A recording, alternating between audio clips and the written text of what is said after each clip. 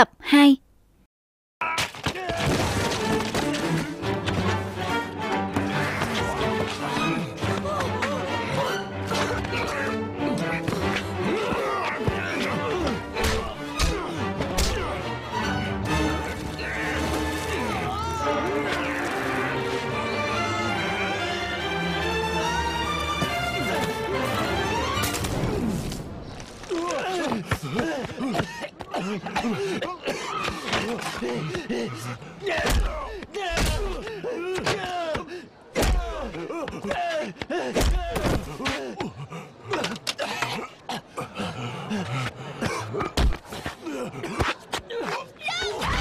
Tránh ra.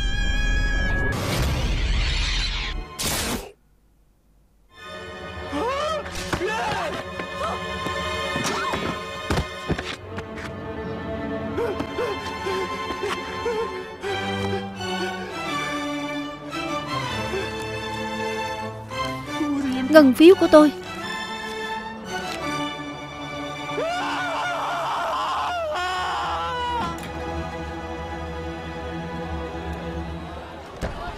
Xong rồi, Cuối cùng cũng trả hết tiền cho anh ta. Nhưng không biết Thiếu Bạch muốn tìm anh ta làm gì nhỉ? Đại tiểu thư.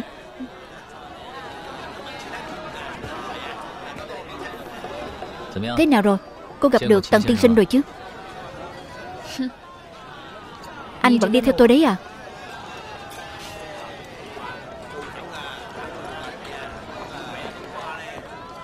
Nếu như anh dám tố giác, tôn phủ đại nhân vốn không quản chuyện loạn đảng. Cô cũng biết tôi chẳng hơi đâu để tâm đến chuyện người khác. Theo tôi về đi. Nếu cô dám dở trò một lần nữa, Tôi sẽ đi gặp Thiết Sơn để tố giác. Như vậy thì Tần tiên sinh sẽ chết trong tay cô đấy.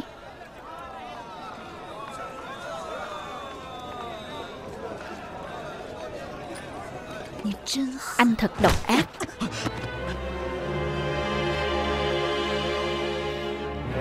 Lập tức đưa lên thuyền về Quảng Châu. Một giây cũng không được chậm trễ. Vâng. Cậu chỉ có nhiệm vụ là chạy thôi. Nếu có người đuổi theo, Cứ chạy theo đường nhỏ. Chạy qua được giao lộ với nghiêm là an toàn rồi. Có thật là ngài sẽ trả tôi 100 đồng không? Tôi sẽ trả trước cho cậu 30 đồng. Chỗ còn lại. Đợi xong việc, Thì lập tức trả nốt. Thế lúc đấy ai đưa tiền cho tôi? Người cậu kéo là tôi mà. Tôi không trốn đâu.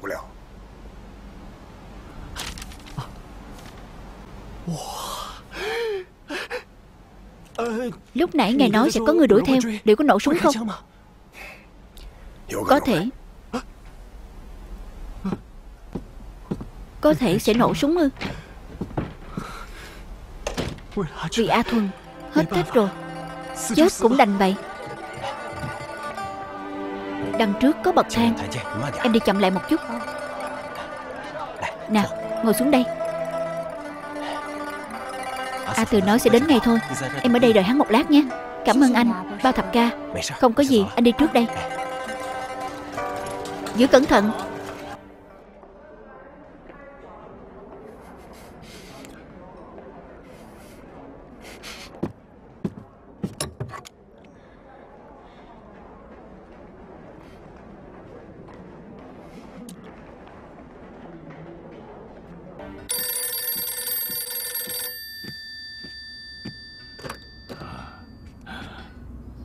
Alo?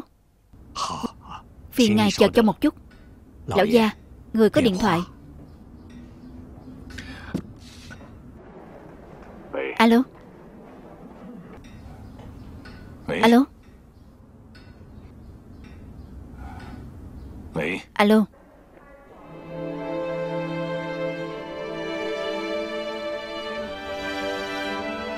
Trùng Quang Con đang ở đâu vậy? Cha. Con Con nhớ bà nội. Bà nội Thế nào rồi à Bà nội vẫn ổn. Bà đang chờ con về nhà đấy. Con đang ở đâu? Trùng Quang. Trùng Quang Cha biết là con đang ở Hương Cảng.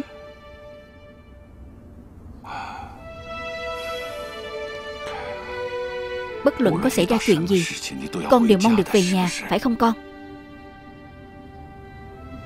Cha Con muốn về nhà. Cha hãy đến đón con. Con đang ở đâu? Cha sẽ đến ngay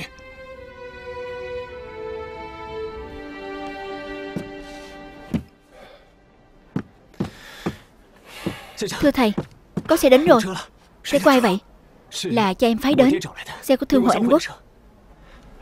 Quá tốt rồi. Cuối cùng cũng tìm được xe chở thế thân Tốt lắm. Thầy vừa nhận được tin nội bộ Nói rằng vượt qua được tháp đồng hồ đến đường Hennessy Sẽ không còn người của bọn họ nữa. Thầy đã bố trí vài người phục sẵn để cản trở truy binh. Thực tế là để dụ bọn chúng đuổi theo xe chở người thế thân. Đến lúc đó Em hãy đưa Tôn Tiên Sinh lên xe. Nhất định phải hộ tống ấy đến tận bến cảng sự an toàn của Tôn Tiên Sinh. Đều trông cậy vào em cả đấy.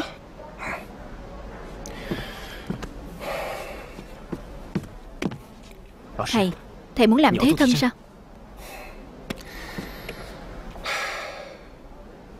Nhớ phải hiếu thuận với cha em. Thay thầy cảm ơn huynh ấy.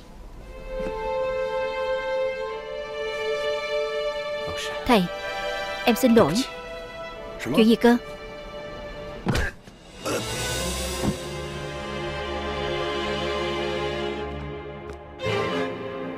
Bại không phải vì không có đủ dũng khí. Thất bại tiếp càng không phải vì không đủ dũng khí.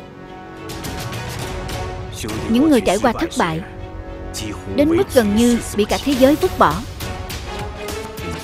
So với việc ngày hôm nay Thực tế còn gặp khó khăn hơn gấp trăm lần.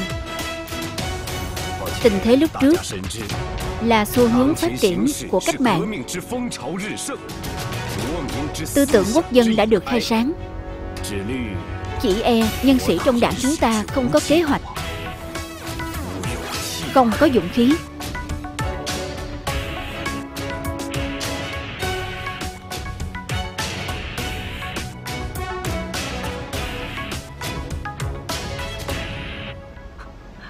Có giống không? Trùng quan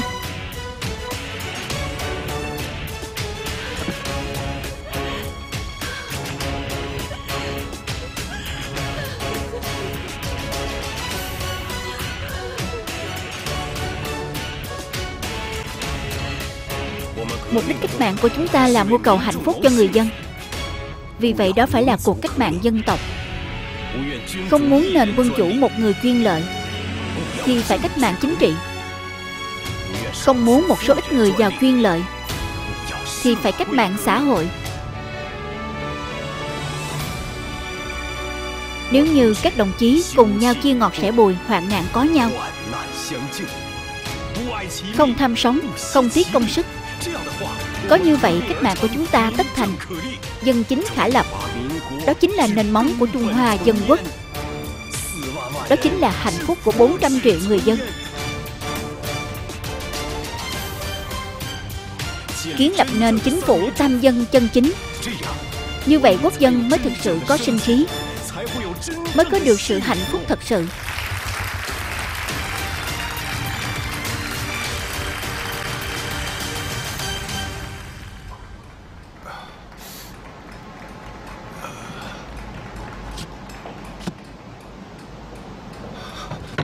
Trùng Quang Em không được đi.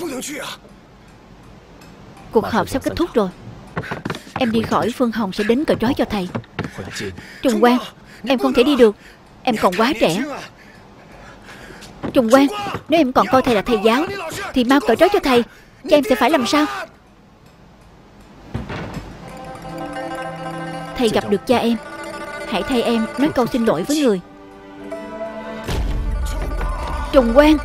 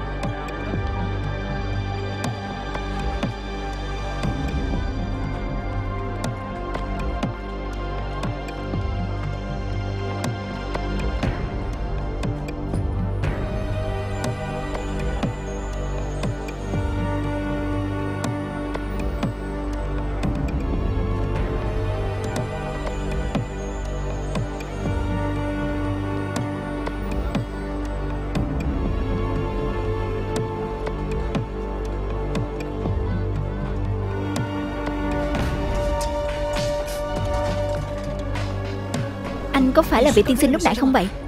Là tôi Tôi sẽ trả tiền cho anh. Mau chạy đi. Nhanh lên Nhanh lên. Nhanh, Mau lên. Mau đi thôi. Đi.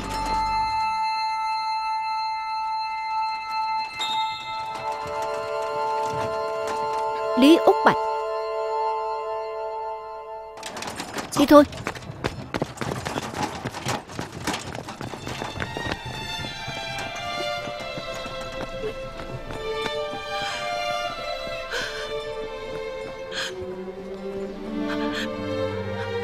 Mau đi đi. Chạy nhanh lên. Mau, đuổi theo. Làm cái gì thế? Mau đuổi theo, Đứng lại Đứng lại. Tránh đường Tránh đường. Đứng lại, Mau chạy đi, Nhanh lên. Đứng lại Đứng lại. Đứng lại, Bên này, Mau lên. Bên này, Nhanh Nhanh lên.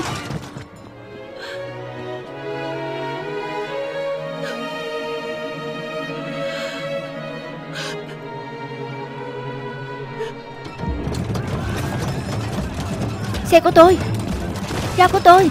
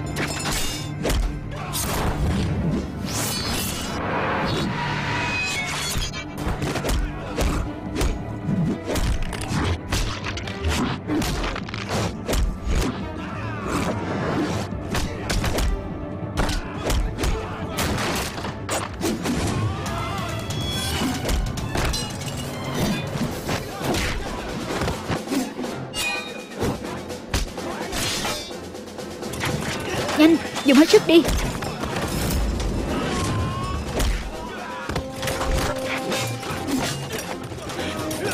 Bảo vệ Tôn Tiên Sinh. Mau chạy đi.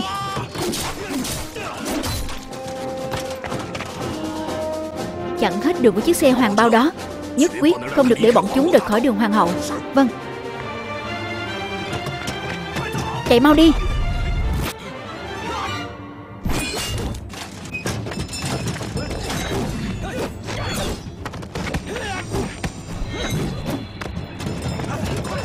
Nhanh, nhanh lên.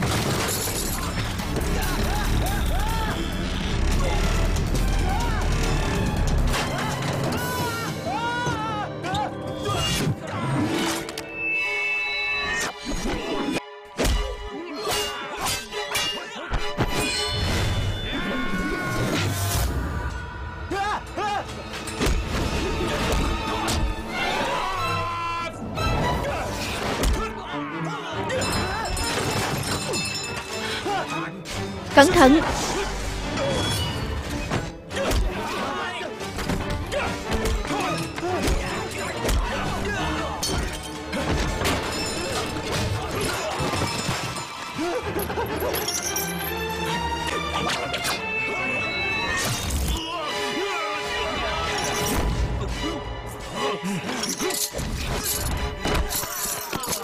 Mau chạy đi.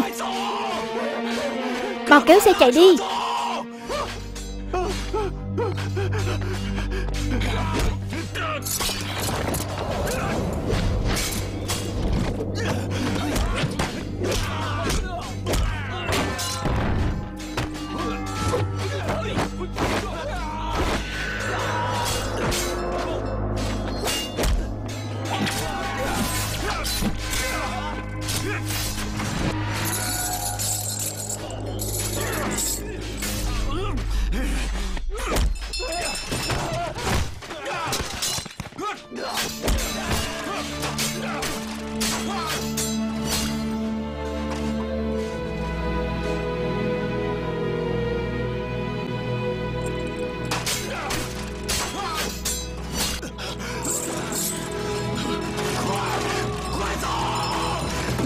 Nhanh chạy đi.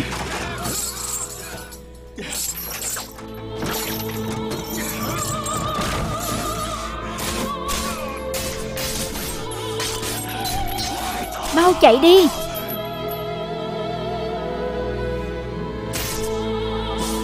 Mau chạy đi.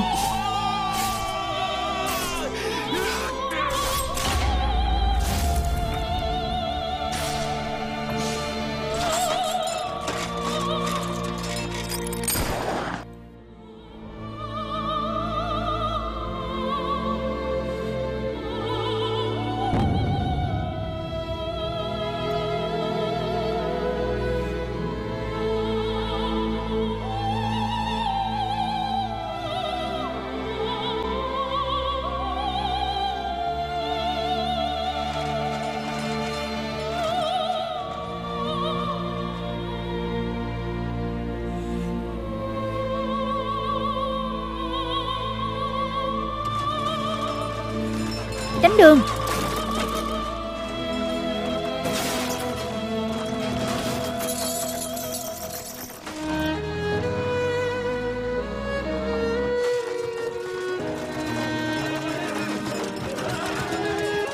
Tránh đường. Nhìn đường đi chứ. Thật là. Tránh ra.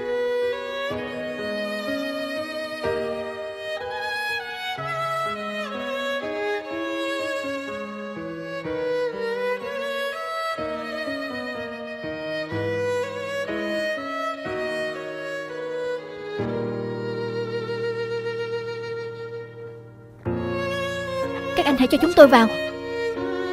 Không thể vào được, Xin lỗi ngài. Chúng tôi có giấy thông hành. Có giấy thông hành cũng không được vào. Tránh ra.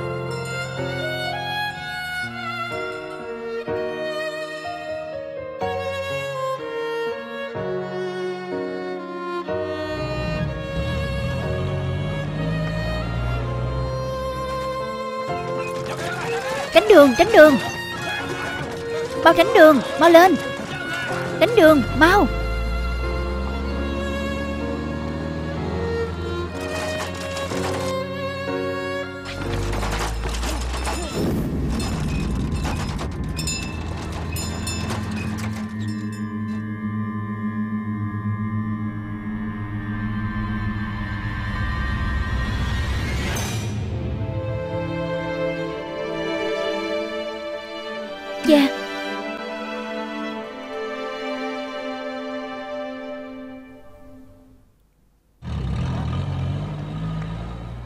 Cho cái xe kia lại ở đây. Ai cho nó vào đây?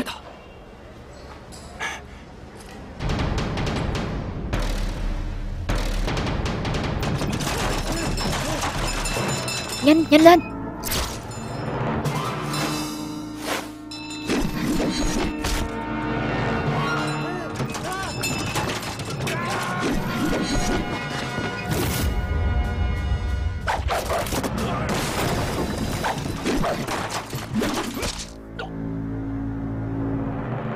Truyền lệnh xuống.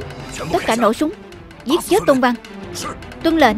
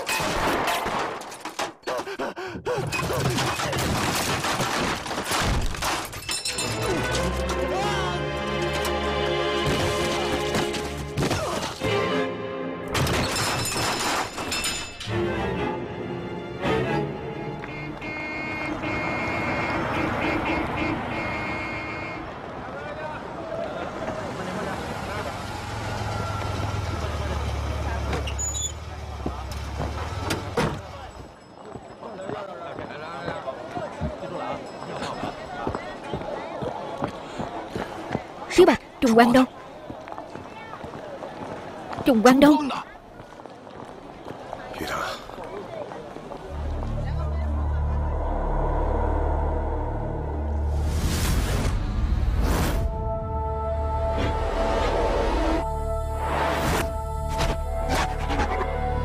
Chính là người đó Trùng quan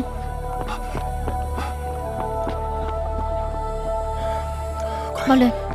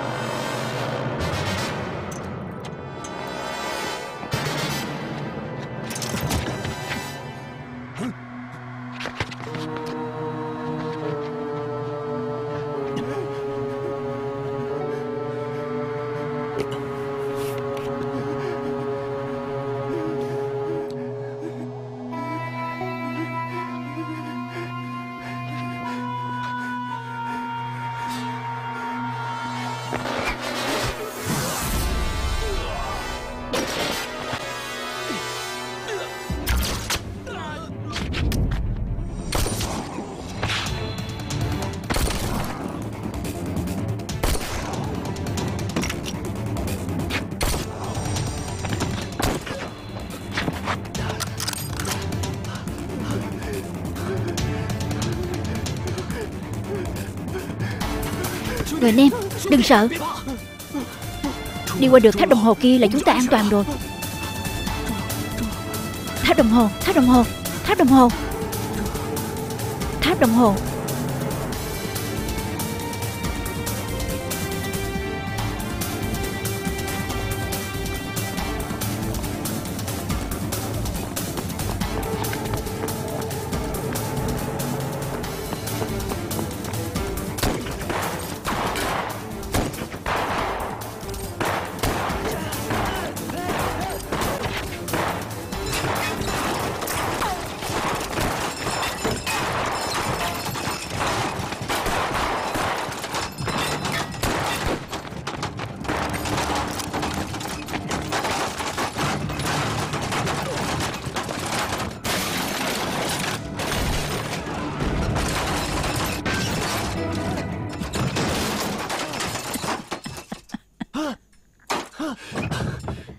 Khá lắm. Anh thấy tháp đồng hồ chưa? Vừa qua chỗ đó Chúng ta an toàn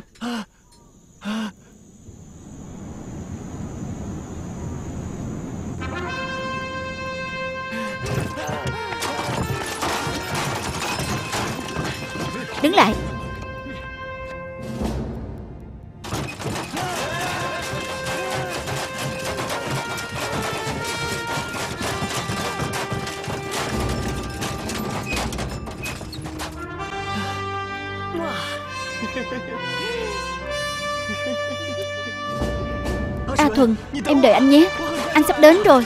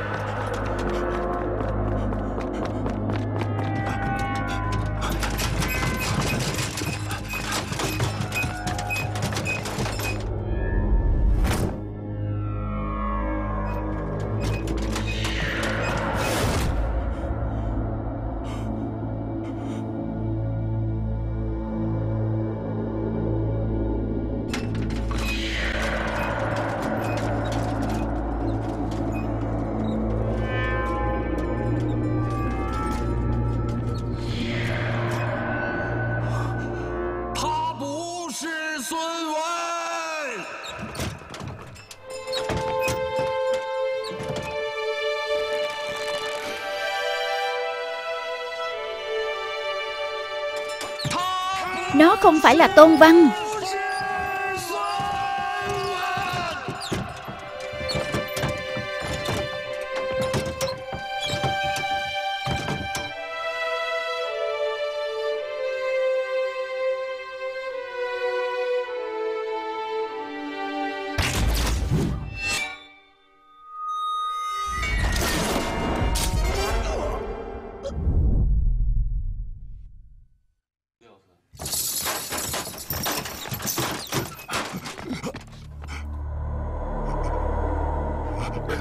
Ngọc Đường Huynh, Ngọc Đường Huynh.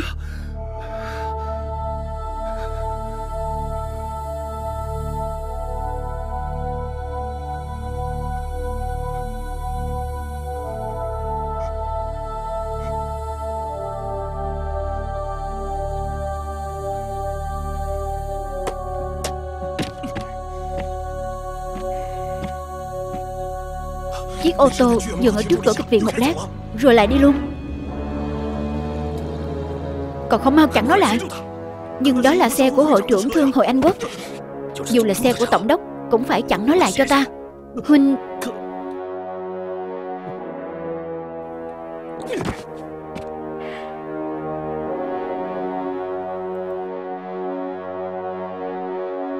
Trúng kế dương đông kích tay của bọn chúng rồi. Bắt tên phu xe đó về cho ta. Vâng.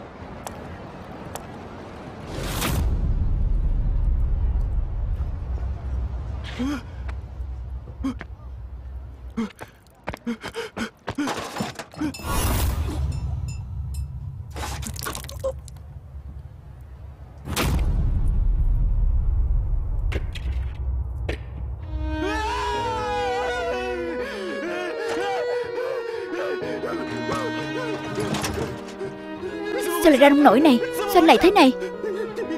Anh, anh còn nợ tiền tôi mà. Tiền của tôi. Chúng ta tới bệnh viện. Bệnh viện, bệnh viện ở ngay phía trước. Sắp đến rồi. Anh nói cái gì? Cha. Cha. Cha. Cái gì cơ? Cha nào? Cha ở đâu? Cha làm sao? Gì cơ? Cha Cha.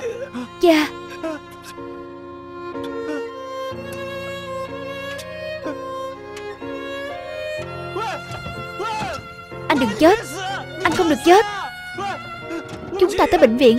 Rất nhanh thôi là sẽ tới bệnh viện. Cha. Tiền ở đây hả? Được rồi được rồi. Sao lại thế này? Không phải chứ. Cha. Cha. Đây là cha của anh à? Cha. Cha anh Cha anh ở đâu? は。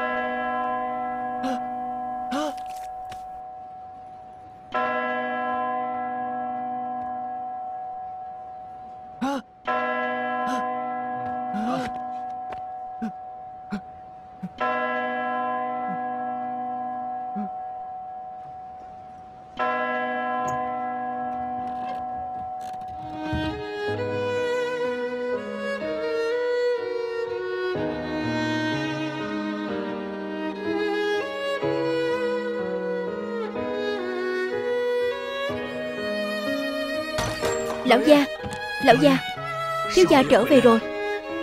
Thiếu gia trở về rồi.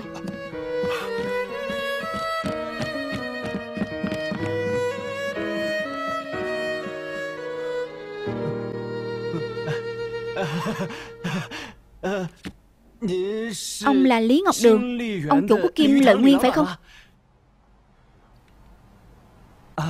Mắt ông mù rồi à. Ông chủ Lý.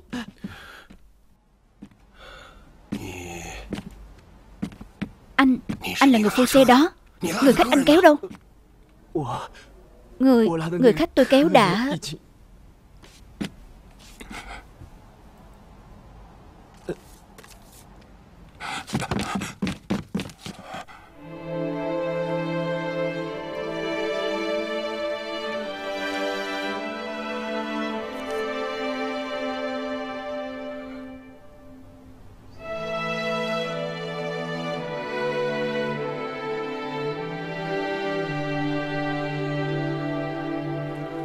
Lão gia, Ngọc Đường Huynh. Lão gia Lão gia. Con trai tôi, Con trai tôi. Con tôi ở đâu? Con trai tôi. Con tôi ở đâu?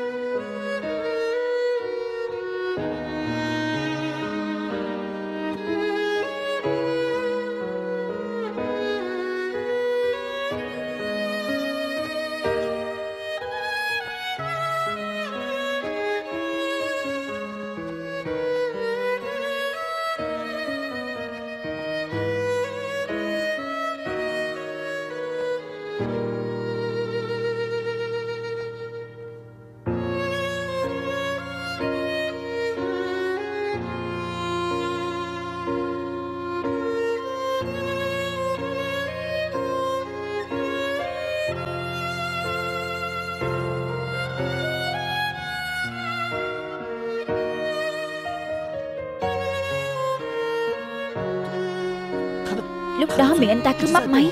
Tôi nghe không rõ lắm. Sau đó, tôi phải ghé sát tay vào mới nghe rõ. Cậu ấy nói gì? Tôi chỉ nghe thấy anh ấy luôn miệng gọi. Gọi cha.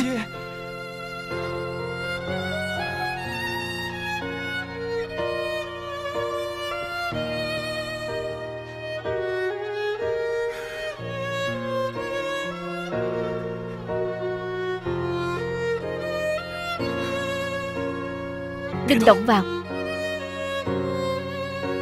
Ra ngoài đi. Một mình tôi ở lại đây với Trùng Quang.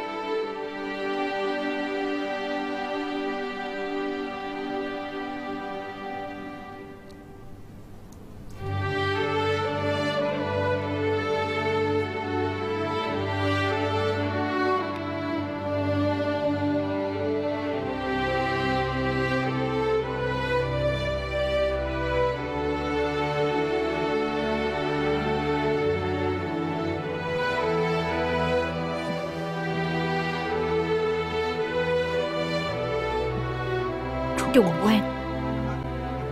Cha đến rồi. Cha đến đón con về nhà.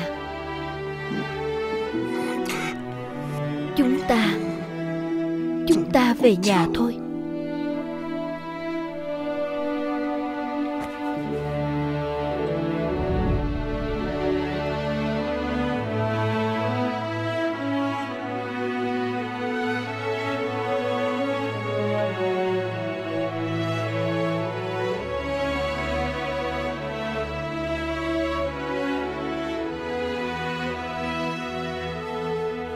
Phụ thân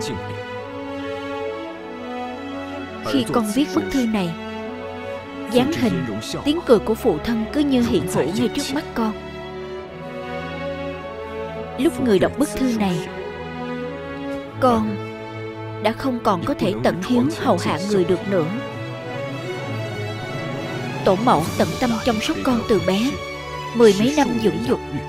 Con vô cùng kính yêu người con cũng vô cùng kính yêu phụ thân.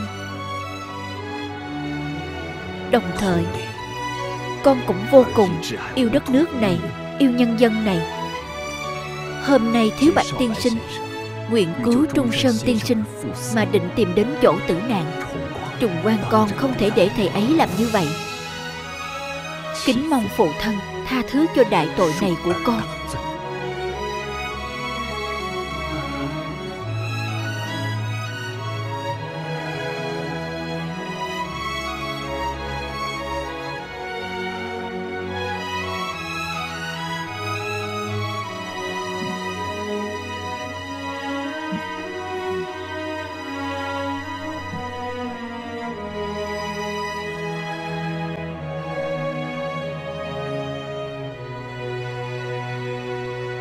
Cậu đừng sốt ruột. Cho tôi một lát, Bây giờ tôi có rất nhiều việc phải xử lý. Ngài đã đồng ý trả tiền cho tôi rồi mà. Tôi đã đồng ý thì nhất định sẽ trả tiền cho cậu. Ngài không thể nói rồi cho qua như vậy. Còn tiền của tôi, Cậu tin tôi đi mà. Hiện giờ tôi không mang theo nhiều tiền như vậy. Thế thế thì ngài vay đi. Người kia không phải là ông chủ lớn sao? Ngài Ngài ngài đi vay đi. Người anh em, Cậu cố gắng đợi một chút. Hôm nay may mà có cậu, Tôi sẽ cảm ơn cậu tử tế. Thế này đi, Cậu để lại địa chỉ, Tôi viết cho cậu giấy nợ. Ngày mai tôi nhất định sẽ trả cho cậu. Đại lão gia ơi, Như vậy thì không kịp. Mặt trời sắp lặn rồi, Mà tôi vẫn chưa có đủ 100 đồng. Tất cả coi như tiêu luôn rồi. Tôi cầu xin ngài có được không? Nếu không vì việc ấy, Tôi cũng không vì 100 đồng mà bán mạng như vậy đâu. Đừng làm ồn, Cậu nghe tôi nói này, Nghe tôi nói đã. Thế thì ngài trả tiền cho tôi đi, Đừng có cãi nhau nữa. Tần tiên sinh đây là ngân phiếu lão gia đưa cho ngài. Ngài cầm lấy đi. Cảm ơn ông. Trả cậu 100 đồng. Mang đến ngân hàng là có thể đổi thành tiền mặt rồi. Cảm ơn.